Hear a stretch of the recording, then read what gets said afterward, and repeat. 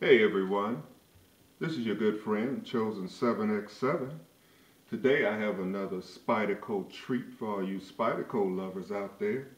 This happens to be another discontinued model. It is the Spyderco ATR. ATR folks. Discontinued. Early 90s. This is the actual stainless steel version. There's a titanium version as well.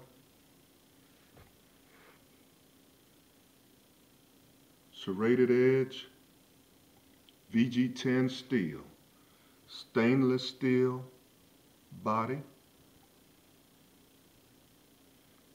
with the compression lock, similar to your military. Beautiful blade. Very nice. Let me give you a little basics on this piglet. It's a biggie. It has an overall length of 8.5 inches. It has a blade length of 3.4 inches. This is VG10 steel, the premium steel at the time for Spyderco. Your blade thickness is 0.125. It has a weight of 5.4 ounces. And I want you to take a look at the jimping on the spine here. Hope you can see that it has a little Phillips screw there.